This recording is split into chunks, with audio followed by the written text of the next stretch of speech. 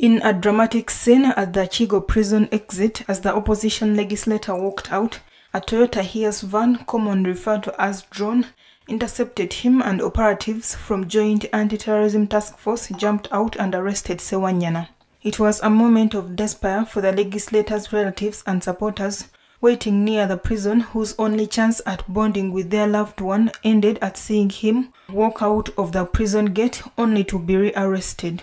However, UPDF spokesperson Brigadier Flavia Biokwaso confirmed the army had arrested Sewanyana, whom she said is facing fresh charges. The army spokesperson, however, dismissed as non-true reports that the opposition legislator had been kidnapped. Kampala Lord Mayor Arias Lukwago, who is also Sewanyana's lawyer, said his brutal arrest has rendered the earlier court order for his release useless. National Unity Platform leader Robert Kyagulanyi, also known as Bobi Wine, referred security to the recent address on human rights by President Museveni.